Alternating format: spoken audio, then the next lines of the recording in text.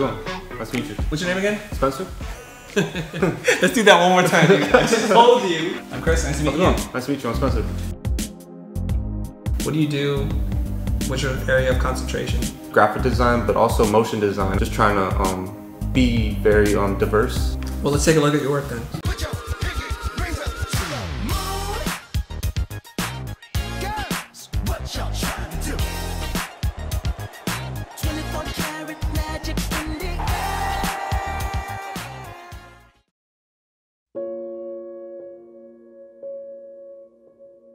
But it seems this extreme weather isn't random.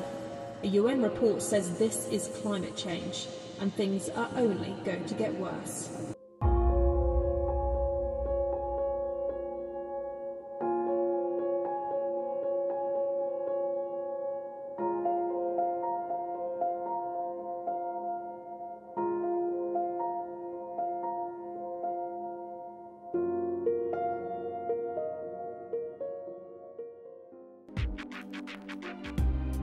You want to do is give people context of the work they're about to see, mm-hmm. your role in the work, and any kind of problems you were trying to solve or a, a message you were trying to communicate. I have no idea what you're trying to do, what you did, if it was a team group project, if you're responsible for the 2D compositing or the entire thing.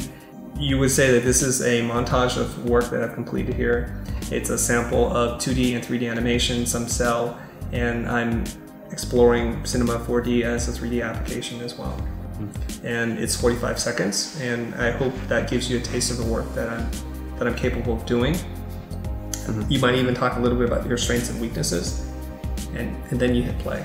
Okay. now i know how long it is i know what i'm looking for i know how to judge the work.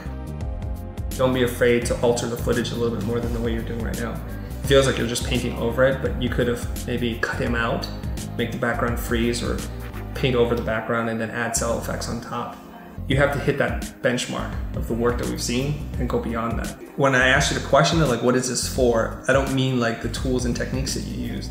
This is going to represent something. Like this is going to be a, a channel promo, or it could be an in-stadium graphic. So mm-hmm. whenever, anytime he scores, you're going to do something like this. This is the difference between student work and professional work. Professional work has an application, it has a purpose. It's not just about testing a piece of software or trying a technique. Make your work feel like it's there's an application like I've already seen it on TV. I should be able to park the playhead at any point in the frame and find me a good frame that I can print it out and looks like a beautiful poster.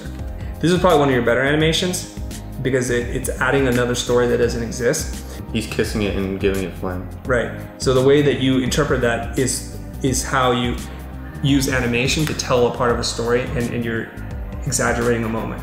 So when you turn the ball into a fireball, that was good. It would have been great here when it hit the back of the net if something exploded or the net tore apart or it's such a powerful kick, you know? Do you have questions for me? As a motion designer about to graduate, what could help my portfolio, website, or Behance in terms of content or types of work? I want you to focus. I think your area should be in 2D. Um, 3D is a whole nother beast. Right now, I look at your work and I say, well, he knows the tools, but it's not going to be at a level in which I can plug you into a commercial job. Like your your tiger, it, it's not a perfect walk cycle, and the limbs and the joints don't bend the way they're supposed to. The mo- it's it's jacked up. Okay, I'm just gonna say it like the way it is Oh. why not just do a 2D paper animated tiger? That's where you should put your creativity and not trying to like render 3D mountains. Because what you're gonna do 3D mountains? You're gonna work for Pixar or ILM? No, you're not. Making it real hurts you because we we have Life of Pi, and then we have Spencer. It's happening. This is a contraction. It is happening. So you're missing an Okay. apostrophe there. That's definitely like not a good thing. This is the sign of an amateur to me. Like you go just go grab some super heavy display typeface and you modify and you don't know exactly what you're doing, mm-hmm. and it's distracting from the, the the piece itself. Using a condensed typeface like this makes it really hard to read. Making it white on a white background it makes it very hard to read. You get to pick the background. You get to pick the typeface. So why would you pick something that makes it hard to read? Pick a much more legible typeface. Pick something very sobering. This is a serious message, and then make sure you can read this thing. The surest way to get work is not to do work that looks like student work. Do work that looks like it's it would fit on the company's reel, and you'll be safe. All right, Uh, I think that's all I have time for, and I hope you found this to be helpful. Do you have a business card? Um, I do What not. kind of own- unprofessional I'm not are you running here? dude? Come on on, dude. Shame on you. He was very serious and upfront. He was he wasn't passive at all, and I really appreciated that. Um, my focus was really broad and and it was uh, sort of vague, and he's really helping me be able to focus it on the right aspects that I should be using it on.